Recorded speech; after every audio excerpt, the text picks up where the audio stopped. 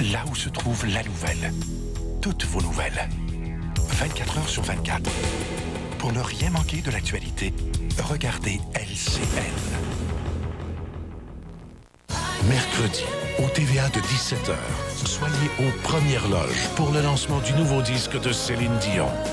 Pascal Willelmy sera sur place pour recueillir les confidences de Céline ce mercredi au TVA de 17h.